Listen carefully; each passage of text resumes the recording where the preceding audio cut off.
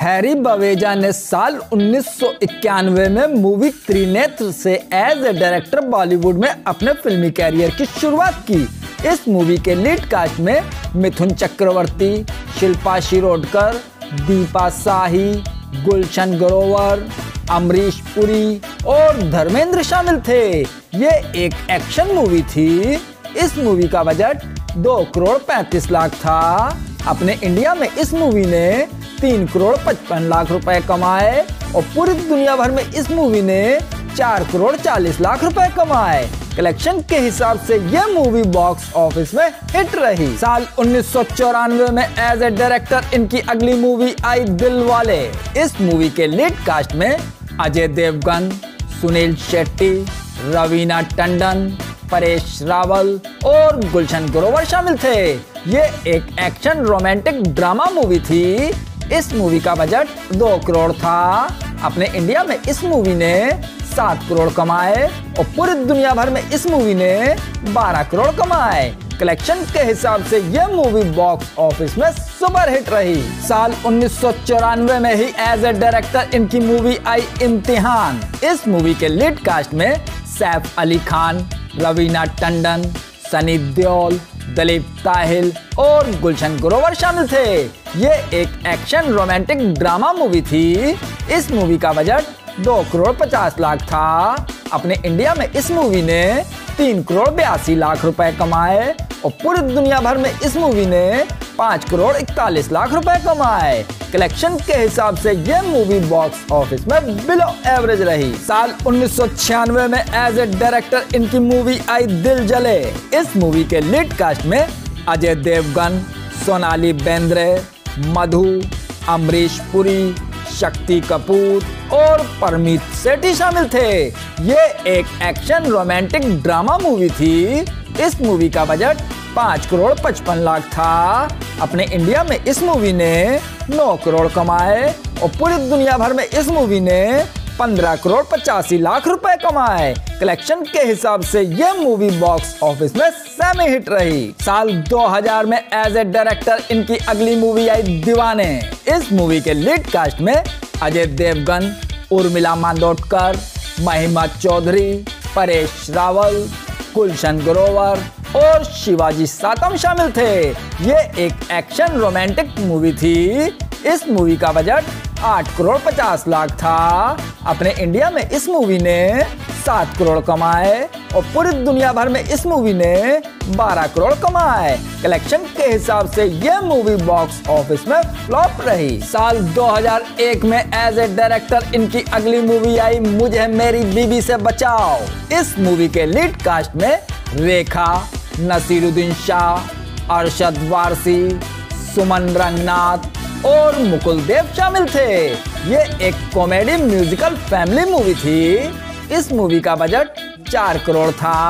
अपने इंडिया में इस मूवी ने सैतीस लाख रुपए कमाए और पूरी दुनिया भर में इस मूवी ने तिहत्तर लाख रुपए कमाए। कलेक्शन के हिसाब से यह मूवी बॉक्स ऑफ़िस में डिजास्टर रही। साल 2002 में एज ए डायरेक्टर इनकी अगली movie I Karz, the burden of truth. इस मूवी के लीड कास्ट में सनी देओल, सुनील शेट्टी, शिल्पा शेट्टी, आशुतोष राणा और जानी लीवर शामिल थे।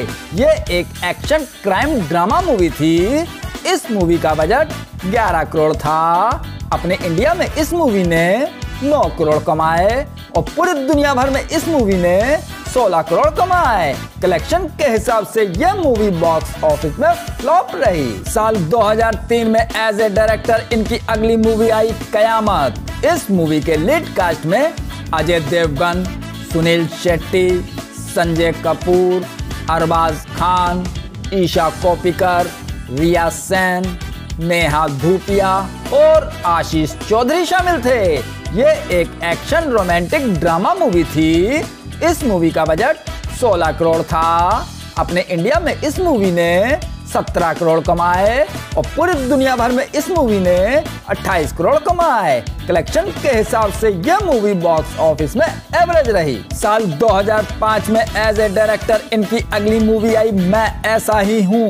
इस मूवी के लीड कास्ट में अजय देवगन, सुष्मिता सेन, ईशा देओल और अनुपम खेर शामिल थे।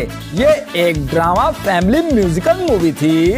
इस मूवी का बजट सात करोड़ पचास लाख था। अपने इंडिया में इस मूवी ने दो करोड़ छियासी लाख रुपए कमाए और पूरी दुनिया भर में इस मूवी ने पाँच करोड़ कमाए। कलेक्शन के हिसाब से यह मूवी बॉक्स ऑफ़िस में डिजास्टर रही। साल 2005 में एज ए प्रोड्यूसर इनकी अगली मूवी आई करम। इस मूवी के डायरेक्टर थे संजय एफ़ गुप्ता। इस मूवी के लीड कास्ट में जॉन अब्राहम, प्रियंका चोपड़ा, शाइनी आहूजा अंजन श्रीवास्तव और विक्रमजीत कंवरपाल शामिल थे। ये एक एक्शन क्राइम ड्रामा मूवी थी। इस मूवी का बजट 6 करोड़ था। अपने इंडिया में इस मूवी ने पाँच करोड़ कमाए और पूरी दुनिया भर में इस मूवी ने आठ करोड़ कमाए। कलेक्शन के हिसाब से यह मूवी बॉक्स ऑफ़िस में फ्लॉप रही। साल 2006 में एज ए डायरेक्टर इनकी अगली मूवी आई तीसरी आँख। इस मूवी के लीड कास्ट में सनी देओल, अमीषा पटेल, नेहा धूपिया, आरती छाबारिया, मुकेश ऋषि और मुरली शर्मा शामिल थे। ये एक एक्शन क्राइम थ्रिलर मूवी थी। इस मूवी का बजट 12 करोड़ 50 लाख था। अपने इंडिया में इस मूवी ने 4 करोड़ कमाए और पूरी दुनिया भर में इस मूवी ने 6 करोड़ 60 लाख रुपए कमाए। कलेक्शन के हिसाब से यह मूवी बॉक्स ऑफ़िस में डिजास्टर रही।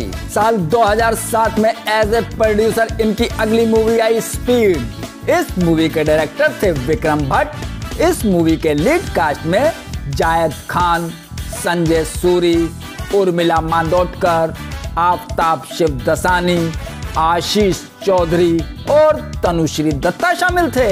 ये एक एक्शन क्राइम थ्रिलर मूवी थी। इस मूवी का बजट 9 करोड़ था। अपने इंडिया में इस मूवी ने एक करोड़ तेरह लाख रुपए कमाए और पूरी दुनिया भर में इस मूवी ने एक करोड़ अट्ठावन लाख रुपए कमाए। कलेक्शन के हिसाब से यह मूवी बॉक्स ऑफ़िस में डिजास्टर रही। साल 2008 में एज ए डायरेक्टर इनकी अगली मूवी आई लव स्टोरी 2050 इस मूवी के लीड कास्ट में प्रियंका चोपड़ा, हरमन बवेजा, बोमन ईरानी और अर्चना पूरन सिंह शामिल थे। ये एक एक्शन एडवेंचर ड्रामा मूवी थी। इस मूवी का बजट 40 करोड़ था। अपने इंडिया में इस मूवी ने 11 करोड़ कमाए और पूरी दुनिया भर में इस मूवी ने 18 करोड़ कमाए। कलेक्शन के हिसाब से यह मूवी बॉक्स ऑफ़िस में डिजास्टर रही। साल 2014 में एज ए डायरेक्टर इनकी अगली मूवी आई चार शहजादे। ये मूवी एनिमेटेड और हिस्टोरिकल मूवी थी। इस मूवी में ओमपुरी और हरमन बवेजा की वॉइस को यूज़ किया गया था।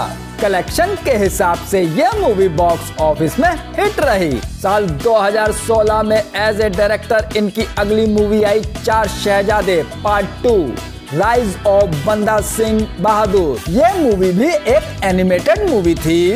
इस मूवी में ओमपुरी हरमन बवेजा और पवन कालरा की वॉइस को यूज़ किया गया था। ये मूवी कलेक्शन के हिसाब से हिट रही। फ्रेंड्स इस तरह मैंने आपको हैरी बवेजा की एज ए डायरेक्टर और प्रोड्यूसर उनकी सभी मूवीज़ के बारे में बता दिया। हैरी बवेजा की कौन सी मूवी आपकी फेवरेट मूवी है कमेंट करके ज़रूर बताएँ। वीडियो को लाइक शेयर और चैनल को सब्सक्राइब ज़रूर कीजिए। धन्यवाद।